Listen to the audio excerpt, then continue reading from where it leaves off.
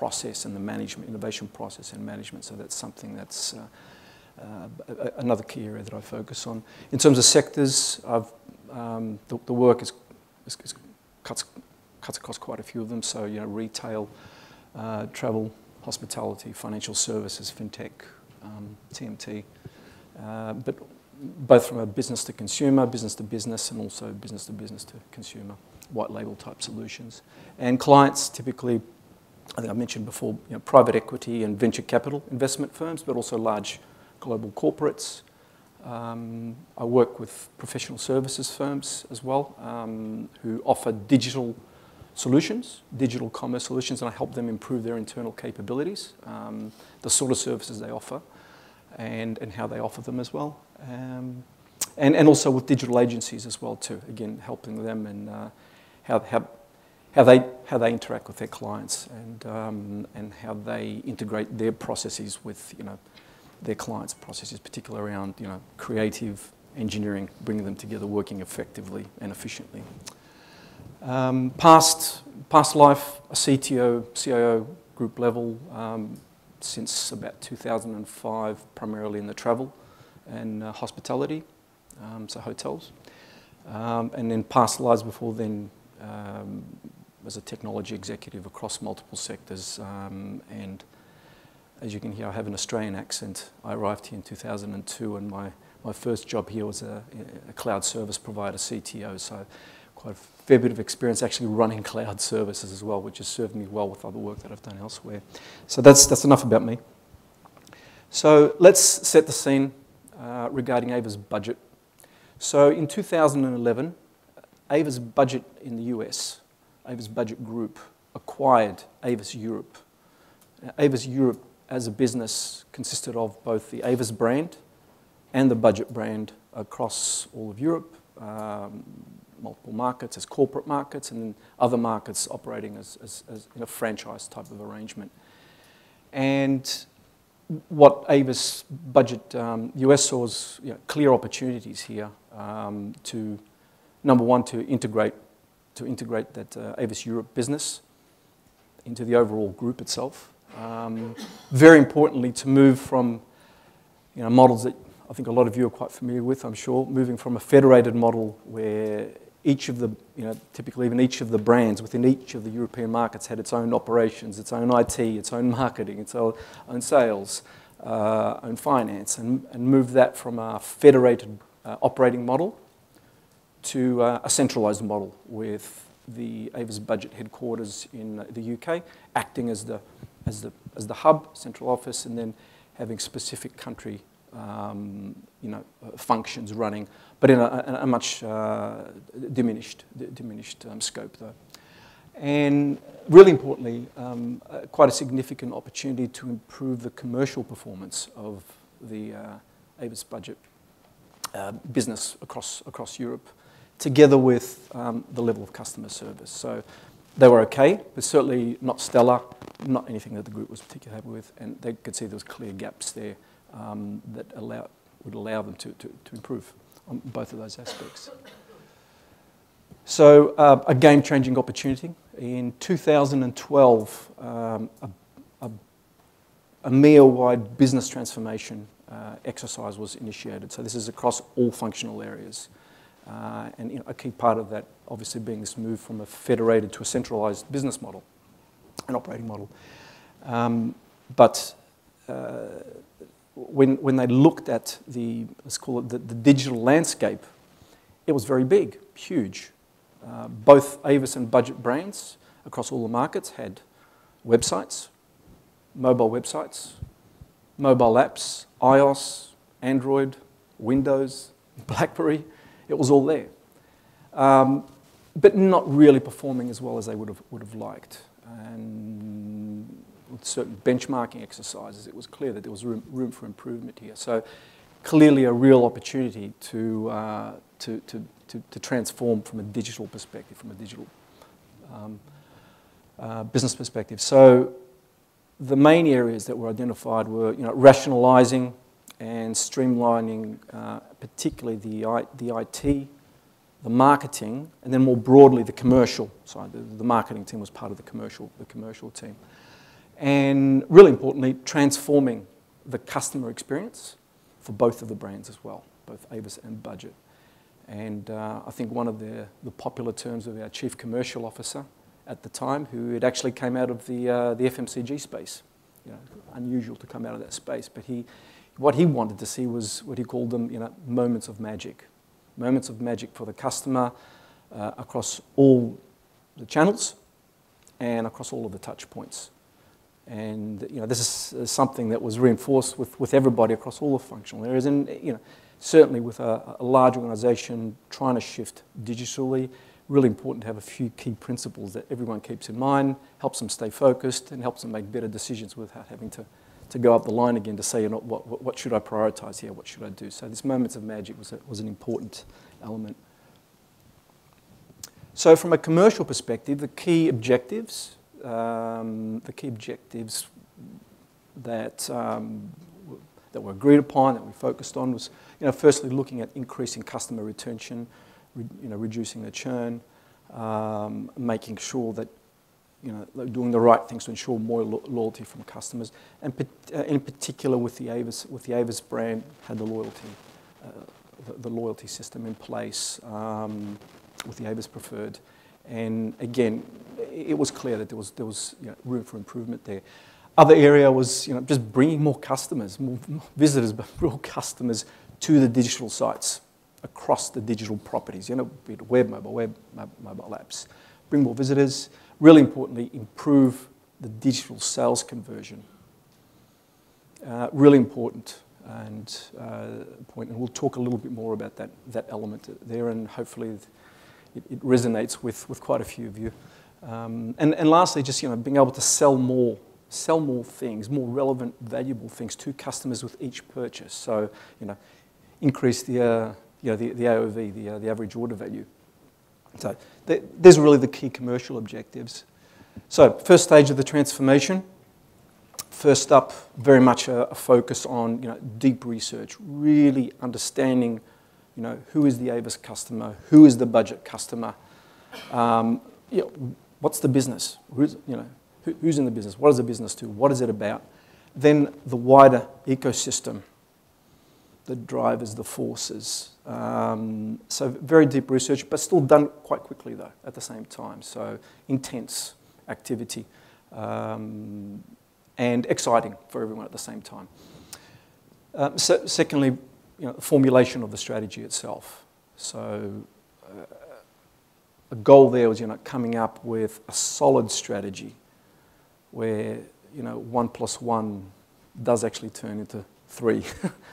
uh, where you have a coherent strategy that's, you know, realistic, actionable, um, with, without it just being created from a set of sales targets for the next 12 and 24 months and saying that's my strategy. Just something that actually had, you know, what are we going to do? When are we going to do it? There's a strategic plan behind it as well. So big focus for us. And some key elements of that strategy um, were, you know, were, were, were, proved out through early exercises, you know, proof, proof exercises. And, uh, and I think that's a, good, that's, a very, that's a very good approach and gives comfort levels and knowledge and, keeps, and helps with the focus as well.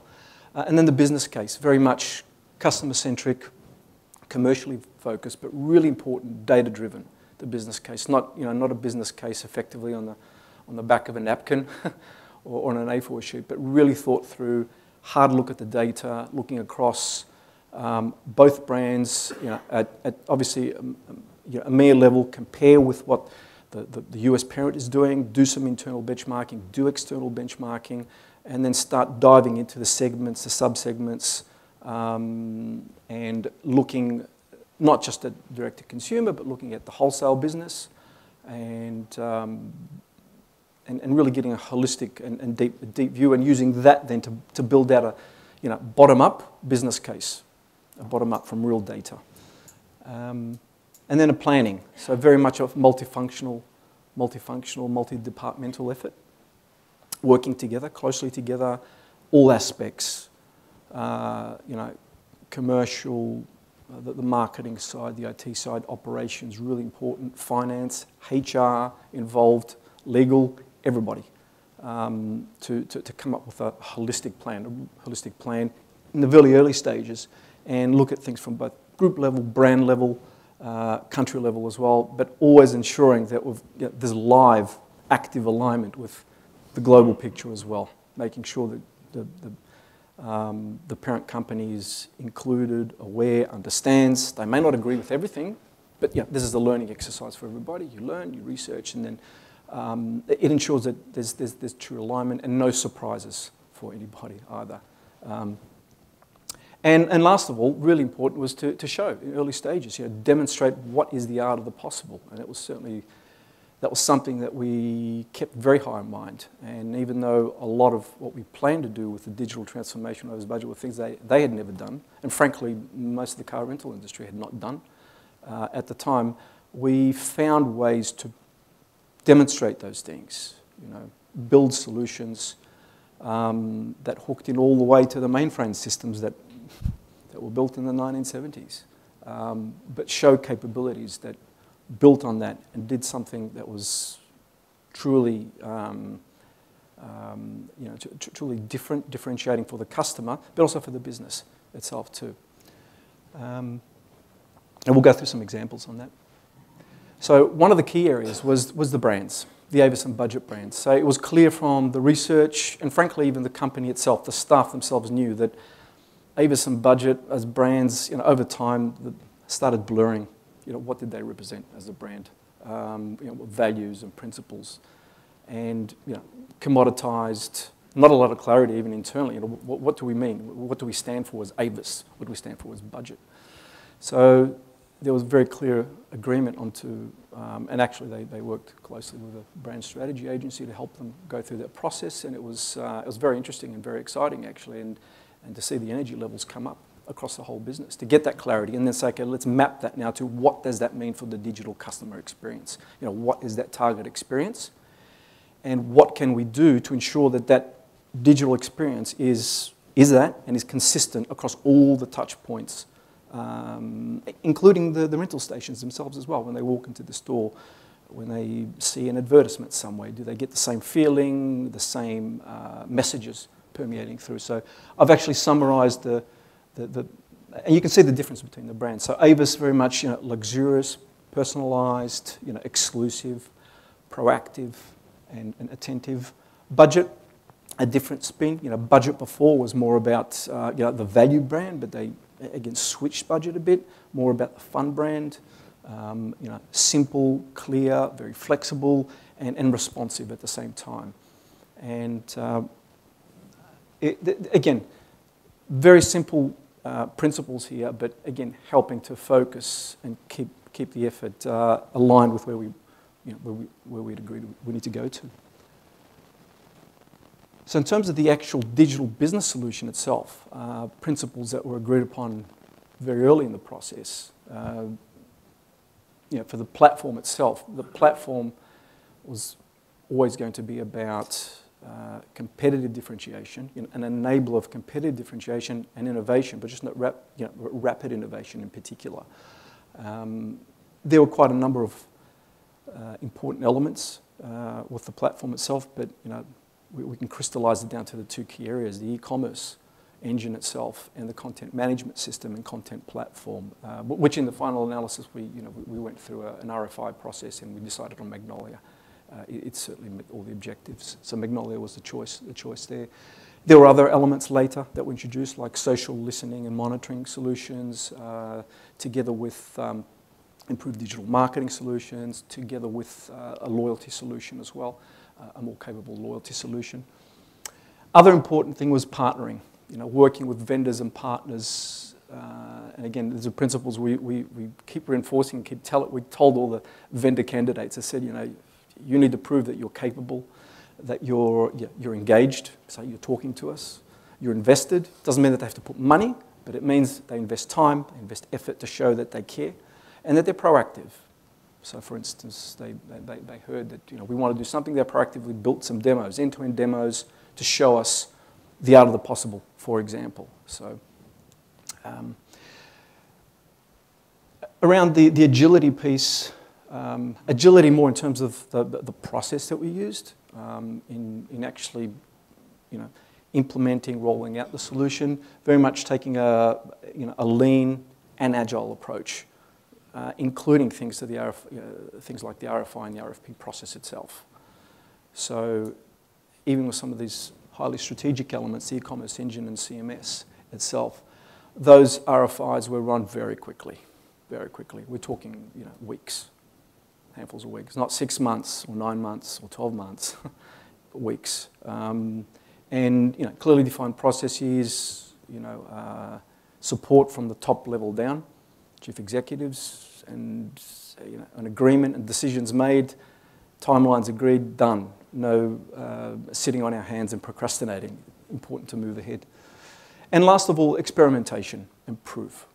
So earlier when I spoke about the strategic piece around the strategy where we had proving exercises there, that concept of proving and doing experiments, trying things out, um, very important and particularly around the technology mechanisms. And one key example there was proving that, for instance, the e-commerce engine will integrate well with the content management system, content platform, and it will support those capabilities that the business is looking for. You know, um, some of those new capabilities, and it might be things like, you know, can we pass certain parameters about the customer down the line? Will it be understood? Will it work properly? Will it scale? Um, if we need to make changes, can we actually experiment and prove to ourselves that we can easily add a new landing page, put in some new content, uh, take something and build it for UK first, some content, and then can we reuse that same approach now across the rest of the markets, and can we do it quickly? You experimentation. Um, but really important to prove out those, those technical uh, mechanisms. And particularly for Avis budget group, I've mentioned those two elements there, but we had to make decisions around, you know, what enterprise integration technology to use, for example. Uh, an enterprise service bus or something like that. There were other key areas we needed to focus on, and given the legacy systems and processes we had to deal with, um, we needed to be careful. And we couldn't assume something would just work. And with the questions, we prove it. We prove it to ourselves. And find out if there's a problem early so we can fix it. We've got time to actually fix it. So, with delivering the actual digital capability, the platform itself, some key areas, the customer experience itself, uh, we used a design thinking approach, worked, worked with an agency, um, lots of regular cross-functional team reviews in the, the, design offices of the agency and a lot of debate and argument as well, but always with the view that we want something better uh, for, for, the end, for the end customer to come up with an experience that makes sense. And actually, we came up with a lot of design and workflow options, and we tried a lot of these things with proper, proper user testing, um, and you know, I think this is the opportunity for you to try different things and, and look, you know, where can we tweak what? Is it the choice of colors? Is, it the layouts? Is it the workflow? They're, they're doing it on a laptop. They're doing it on a, um, uh, you know, on a Samsung phone, on an iPhone. Are they, they're doing it on a tablet. They're, um, they're doing it on a Galaxy tab. You know, actually going through every time and testing these things out. And you find out all those nice little surprises, which you know, something in principle should work, doesn't actually work in, in, in reality for, for whatever reason. So um, testing really important.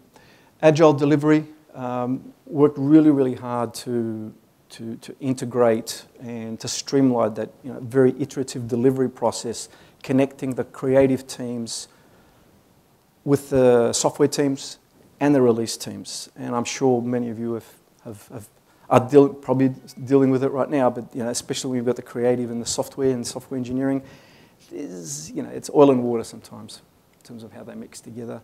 Um, so ensuring that there's clear understanding, clear alignment, and then you know, adjusting the processes, particularly where you're dealing with an external agency, to get something that's uh, streamlined and doesn't create unnecessary rework for you. Because the danger there obviously is that something that you thought was going to take this long ends up taking this long and creates pain and extra cost and, and so forth, and time, and time is everything. Um, from a content migration standpoint, um, very, very significant exercise. We're talking many tens of thousands of pages of content. At the same time, we've just had two brands that have reinvented themselves. So, for instance, we already had websites across all these markets, and they made decisions that we're going to change the tone of voice. For example, you know, we would go from an authoritarian voice in the German market to something that's a slightly warmer tone for that particular brand.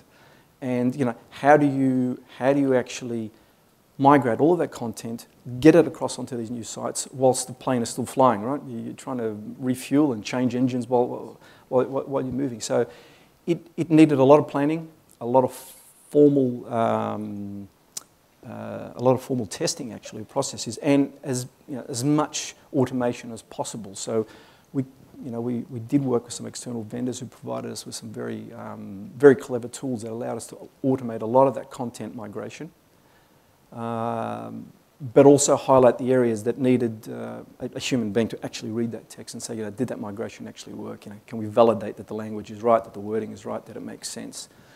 Um, but you know, that, that was a difference of you know, having a handful of people working on it as, oppo- as opposed to having you know, 30 people working on it for you know, probably five times as long. And last of all, you know, process standardization. And I think the, the key area here I'm talking about is uh, processes around your content in particular. Paid a lot of attention to this area and ensuring that we moved from the solution before, which was bespoke CMSs, different ones for each brand, um, highly capable, you know, um, many pages of documentation, but not necessarily the sort of capabilities you would expect, and always needing to involve the IT team every time the, the, the marketing team or the brand teams wanted to add some new content or change something. So, you know, very well defined content approval uh, and publishing workflows. Where there was content, for instance, that had serious brand implications, and you know, in principle, the branding team should definitely look at that content and approve it. The workflows would be mandatory for them. Other cases, it would be optional. And again, we're able to customize the, the workflows to do that. And really importantly, um, move from a space where we had you know, 200 people who could update content across all of Europe with very little auditing, no easy ability to roll things back. This was the, you know, this was the past to, you know, not 200, but having, you know, a couple of tens of people.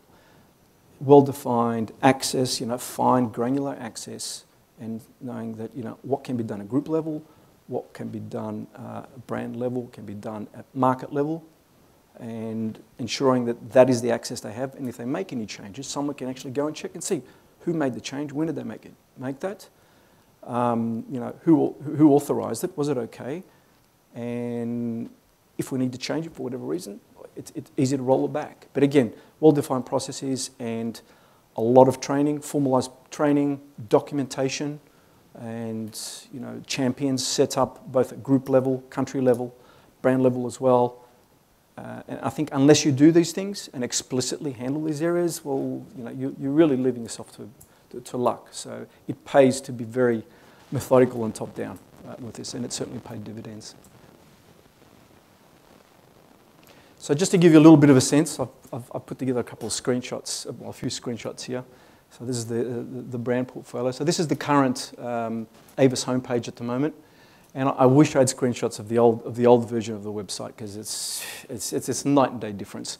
But, you know, a lot of, um, much, much, much more use of, of high resolution imagery, but really importantly, you know, clear calls to action, you know, legible, text that I can actually, I can actually read, you know, use of um, graphical icons, and certainly more modern user interface uh, metaphors. This is the actual, uh, this is the current Spanish uh, website for Avis. Again, use of great imagery, but you know, it's, it's all about the booking, right? It's left and center, and the calls to action are clear, really clear. Um, if we want to talk about inspiration, this is, this is off the current uh, Avis UK website. So we've got a page here, which is one of the inspiration pages, which is you know, Star Wars filming locations, an intergalactic road trip. And then you dive into this inspiration content, and here you can explore. So, you know, there's tattoo and trekking in, uh, in, in, North Africa, and then, you know, road, road trips there, Tuscany, like Geneva.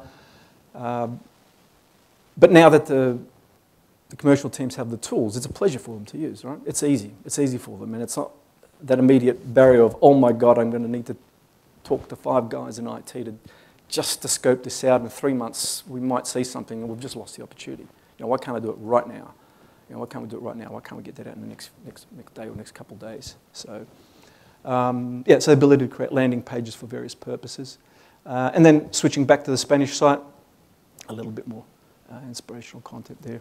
Um, now, budget. This is the Budget Spain site. Now, I mentioned to you earlier, Budget's branding changed from that value to the more fun type brand. So you can see the imagery they're using there.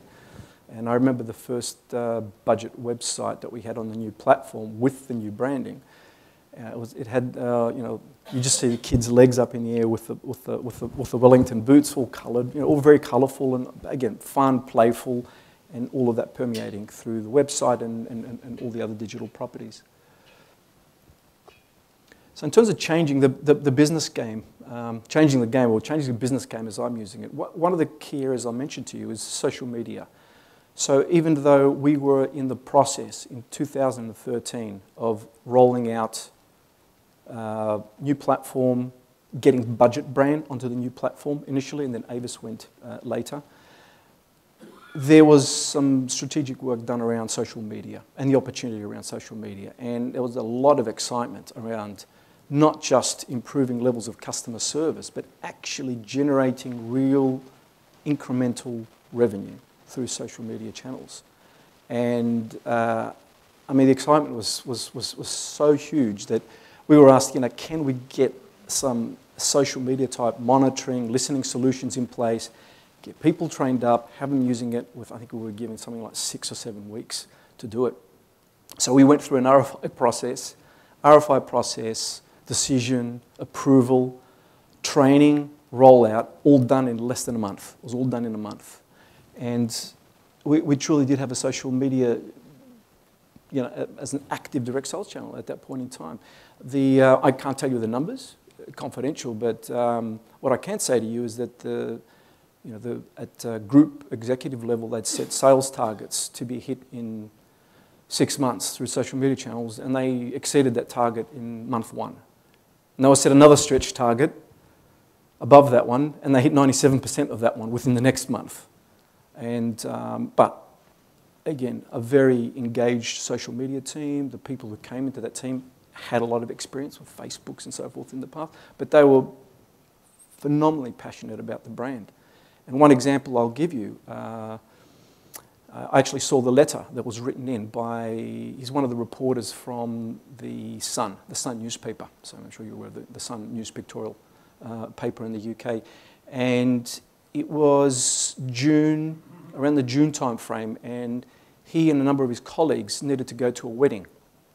And the wedding, I think, was in Nice. They needed to leave from, I think they were leaving from Calais. That's right, I think they were leaving from Calais. And he did everything through social media, Twitter and Facebook. And the team was interacting with him. You know, they picked up on a couple of interesting messages coming through, interacted with him, and he just dealt with them through social media. They organised everything. Uh, comes to the day to travel, the French airstrike hit. It was around June, right? The French airstrike we had then. So his flights cancelled, panic stations. He had a whole, he had a whole troop of people needed to get to a wedding. And then he just pinged through Twitter and he knew the individual he'd dealt with before, and they had cars organised for everybody in less than an hour, and uh, double checked that everything was available at the office, and they were able to drive from Calais, get to Nice, get to the wedding on time, and he, yeah, I mean, the, the accolades were, were, phenomenal. He says, I'm only going to recommend you guys to my, my colleagues and so forth. But again, this is just showing you the power of social media. Um, and in terms of high customer service levels, I, I know that even at that time we switched from, a, I think it was something, uh, you know, like a guaranteed SLA of um, you know, 30 days to respond to customer queries and through escalation social media, the guys were hitting less than 24 hours you know, to, to, to resolve anything that was passed through on social media. But very focused effort, strategic uh, policies in place, procedures, always learning, always continuously improving. Um, taken very, very seriously, extremely seriously. Group, country level, brand level as well. So just continuing on this theme of you know changing the game. So this in 2014, the Avis brand. I mean, most people didn't know that Avis actually rents out luxury cars. They have They literally rent out hundreds of Porsche 911s just between Germany and the UK. Most people don't know that. And it was really easy for them just to create a landing, uh, actually, it's not this is the homepage uh, on, a, on a tablet. So this was the homepage at the time, you know, sports car or supercar.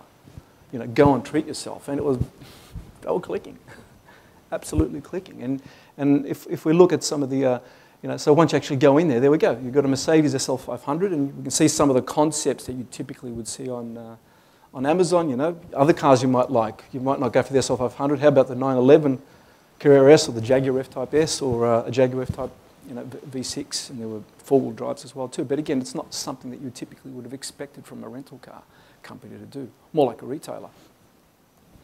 Um, and then, you know, we go into a little more detail here. I, I, remember showing this to some of my friends who are in investment banking, and they said, wow, I can actually rent a 911 from Heathrow, and you give me a little discount too anyway for, for, for, for two, for two days. But I said, absolutely, I'll do it. I actually want to take one for a test drive. It says, dead easy. Go, go, book it online. It's there. And uh, again, in terms of changing the game, Avis in Europe has not advertised on TV for 60 years. They made a decision as part of this whole transformation exercise um, to, to, to, create a new ad. And that ad was aired during the World Cup, uh, during one of the matches that England played in. And it's still running now. I, I, saw it again in the UK, I saw it three times this week on TV. And uh, look it up, it's, it's, it's fantastic. It's all done in black and white.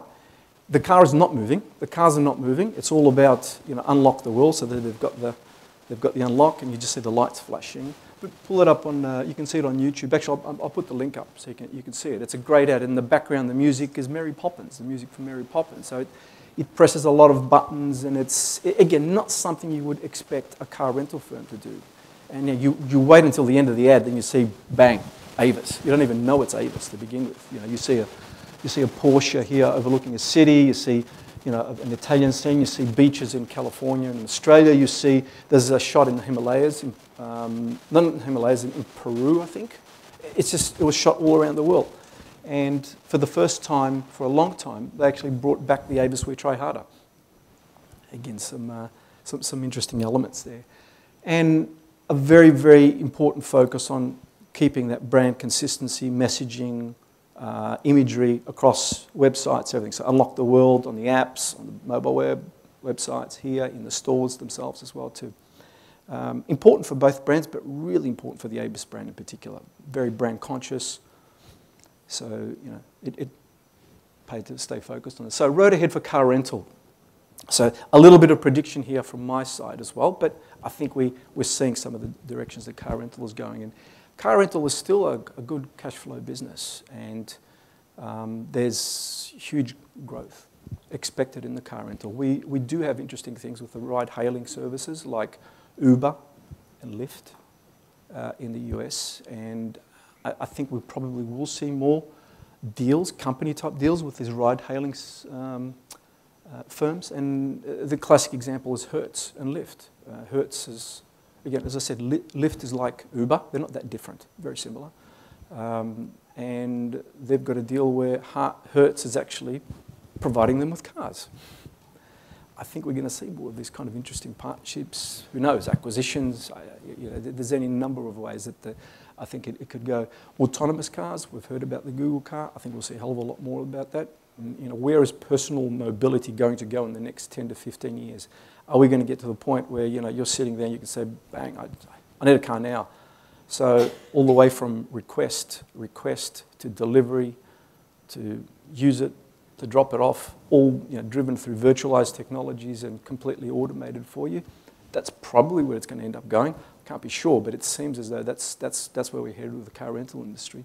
Um, and we will see mergers and acquisitions, and uh, I, I think we will. What form they'll take, let's, let's, let's wait and see. If we expand a little bit further outside of car rental, we look more broadly in travel and hospitality. Um, there was a very interesting study done by IBM uh, around 2011, 2012, I think it was.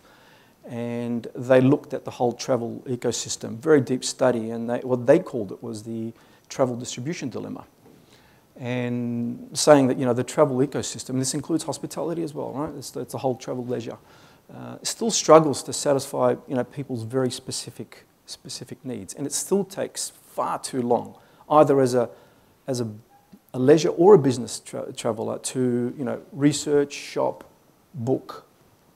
You know, the, the statistics there they're showing you know, a leisure travellers um, you know, more than, you know, over 50% of leisure travellers, probably 55% of leisure travellers, Now, this was done in 2010. This has not changed much. Um, spending, you know, three hours or more researching, uh, researching and, and, booking together, and some people are taking eight hours plus. Some element of that is probably enjoyment, to, I would say, but I'd say it's, it's more painful for me, I, I think, you know, when you're trying to organise your holiday, your flight, your flight, your hotel, your rental car, your destination services, what, what you want to do. And, and, and I, think, um, I think part of the reason is that we probably focus far too much on the price and the, how we package things up, how we sell them, how we distribute. We think that customers are probably more price sensitive than what they actually are. And what they're really looking more, probably looking more for is value as opposed to the price itself. And value is saying, okay, give me a really cheap price, but geez, I'm not getting much value here. This is a terrible place. It's like, am I getting good value for what you're offering me? I want a luxury offering, but I want it at a good price, at a reasonable price. So that balance between price and value, I think, is, is an interesting one. And the key issue, uh, and this is what uh, this study also mentioned, is that argument over, you know, who owns the customer and the data. So, you know, the travel supplier says, a hotel, an airline, uh, you know, car rental firm says, well, hang on, they it, they came to, you know, we're providing the actual service. So we own the customer, we own the customer data. And then the, uh, the reseller, you know, the OTA, um, travel agent says, well, hang on a sec, I'm, I'm the one who actually did the business here. I own it. Well, actually, I, I think in, neither, neither of them own the customer or the customer data. The customer owns it. Um, and, but I think we, we're still at loggerheads with that because we have a travel ecosystem that's less likely to to band together and create a complete picture. The airline knows a lot about the customer. They know what your meal preferences are, but they don't know the data that the online travel agency knows. So no one has the complete picture. So they can't offer something really compelling, compelling and uh, priced accordingly at the right point in time to that person through you know, digital marketing or, or, so forth, if someone's actually shopping on their website. So uh, this is still an issue. Um, and I think that's why we still see a continual proliferation of meta search engines and booking engines and so forth because no one's cracked this nut yet. I think, uh, and if we do, I think a lot of us will be happy. Um, and then hospitality itself, uh, more, more, more, broadly, I think this, this continuing focus, much more intense focus on the personalisation of the guest experience. And one of the key areas, and I, would certainly in my discussions, there's a lot more work around that you know, increased standardisation um, around processes, the operational processes, but also standardization around the platforms and tools. And some of the key drivers around that obviously is cost. You reduce the cost, that means you're increasing your margins. But really importantly, it means for your staff, the staff who are actually um, servicing those customers, they spend less time worrying about the process because it's standardized, it works well, it's transparent, and they spend more time with the guest, paying attention to the guest and making sure that every interaction they have with that guest is special in itself and they're customizing the service on the spot at the time. But if that poor staff member is fighting with a process which works slightly differently in this hotel in that city, part of the city, and the other one is slightly different and they've moved, uh, another country it's slightly different, and then reporting, and you know you do your revenue recognition, you look at your KPIs, and how do you do a like-for-like comparison? You know, it, it, there's lots of reasons why it's good to, to, to have the standardization. And interesting that you have that dichotomy of, you know, I can standardize, but that allows me then to personalize the service. But that's, that's actually quite true. Um, and really interesting then, you know, similar to what I said before with Avis Budget, having a, you know, a platform for, you know, uh, for rapid innovation and for you know, competitive differentiation allows you then to more quickly and easily introduce new ideas, concepts, new innovations, you know, in terms of the product you offer, the service, uh, how you offer it, and, and also how you internally do it as well. How do you, you know, improve your own internal processes?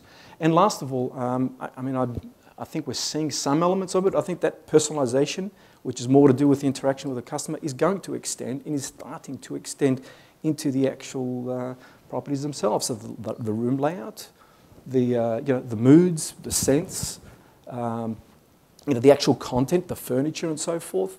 And you know, depending on that person's, you know, whether it's a, a leisure or business context, you know, someone's you know, got a first wedding anniversary coming up, a 10th, a 15th. You know, why can't the mood and the lighting and everything be customized? And why, why do we just have to stick to room numbers, for instance, which are quite impersonal? You, know, you go to hotels where the rooms actually have a, a name and a, and, a, and, a, and a character of sorts. That display could actually be a digital one, and I've seen some very high resolution type displays that are used in supermarkets, for example, where you see automatic update, beautiful imagery and so forth. Why couldn't that be done in a, in, in a hotel context? And, and eventually, a lot of this manual personalization, I think, with improved technologies, where obviously the price point is coming down, so it's not too expensive. There's a, there's a, decent return on investment there. We will see that a lot of this personalization will actually automate itself because the technology will allow you to do that. Um, and I, I, very quickly, I, I wanted to just broaden it a little bit further from the hospitality, look at the sharing economy.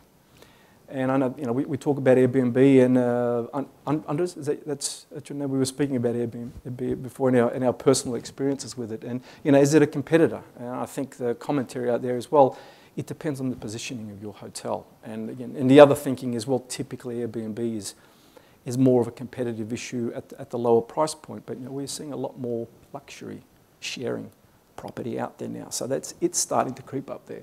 But you know, sharing is not for everybody either. And I, have actually got an example here from HomeAway who actually head, you know, combats this head on. And you know, you look at this image, you know, it's your vacation, why share it? Um, see the video for it. It is absolutely hilarious, but it's a very engaging and interesting way for them. And you know, having said that, you know, they are about vacation homes, but they're saying we do not share. There is no sharing. So it doesn't mean that sharing is in not just sharing where someone is with you, but you know, after they leave as well. You know, they, they leave a few uh, presents, if, if, if, if, you know what I mean. So it's that whole notion. Some people are perfectly fine with it. others are like, no, no, this is our one holiday we take this year. It's got to be special. It's got to be personal. It needs to be memorable for all the right reasons, not because we don't ever want to go back to that place and that particular hotel again or property. So, um, I, just very briefly talk about you know, we talk about innovation all the time, and innovation is, is this focus on innovation is more about creativity, finding new ways, new things to do, and, and in particular for travel and hospitality, looking at other areas and sectors that are kind of related. You know, fashion has a, certainly a, an interesting, I think, relationship with, um, with, with travel and hospitality. And I was reading the Sunday Times uh, recently in February, and there was a, style magazine they had in there, a very interesting interview with uh, Donatella Versace. But she was talking about, you know, the, the, the see now, buy now generation, you know, that need for immediacy. I want it now. I, you know, you've shown me something. Why aren't you offering that product? You know, you, you, you've, you've sent me that email, right, to tell me that you're offering that product and service. Why isn't it available yet? Oh, yeah, we, yeah, we've loaded it there, but it's not loaded on here a lot of us, I know, have solved that problem, but you know, that still persists in, in a way. But also, you know, your products and so forth. You know, you, you're running seasons, you might do summer or winter. You know, those lines are blurring, and, and this is what Donna Teller's alluding to, saying, you know, forget, forget the summer and winter collection. That's all gone now. You know, the, the Zaras of this world, the Inditex, so forth, have, they, they certainly changed the game there, the ASOSes. Um, the other important one, though, is this, this notion of the partnering. If you mentioned, remember before I mentioned about the partnering, the importance of partnering. And what she finds unbelievable, she says, you know, I would never imagined in the past that, you know, Armani and Gianni Versace, you know, would, would have worked together on something, a collection. They were absolute competitors. But here they are now, these brands. They work together, they produce something new and fresh they could never have done by themselves. But they know that the end customer actually appreciates both brands. And so you've done something quite clever and cool here um, together that um, clearly you couldn't have done before. And you know, we associate you with it, and it's actually something quite compelling. Um, I think again that, that message is around you know, the speed, uh, the flexibility, and you know, creative partnering. um, and you know, that, that travel distribution dilemma frankly, the only way that'll actually get solved is if we actually had the whole travel ecosystem working more collaborative together and sharing data, pooling data. Is that going to happen? I don't know. Uh, I, think some of us are quite skeptical about it, but I think someone's going to be bold uh, and drive some initiatives around that, and we may see some interesting improvement there, and the end customer experience will be much better. Internet of Things, just a quick quote here from Apple co-founder, uh, Steve Wozniak. He's saying that the talk is, is definitely way ahead of the reality around Internet of Things, that it is something that is, you know, we're not going to see every single object in our rooms, in our hotels and properties hooked up to the internet. That's not going to happen overnight. He you know, says it's going to be a, a very gradual thing, and he, he, he gives the analogy of apps, you know, one app at a time. So within the hotel industry, certainly in the rental car, you know, I, I spend a, a, lot of time with the Avis budget team on their IoT strategy and, and, initiatives around a connected car. Very important to them, but I think very important for the hotel industry in particular, you know, because IoT, Internet of Things is really about having adaptive environments that adapt to your needs and wants and your particular context. And I, I think, you know, the hotel is, is one of the most best controlled environments. I think huge opportunity and definitely worth experimenting in if you're, if you're not already, and, and learning. To learn doesn't have to be a costly exercise. And then where it makes sense and the, and the, uh, the economies and costs make sense, um, then you can actually implement something. So thank you very much for your time. Uh, uh, feel free to come and grab me if, you, if you've got any questions at all after the talk, uh, or, or, send me an email as well too. But pleasure to speak to all of you and uh, enjoy the rest of your day.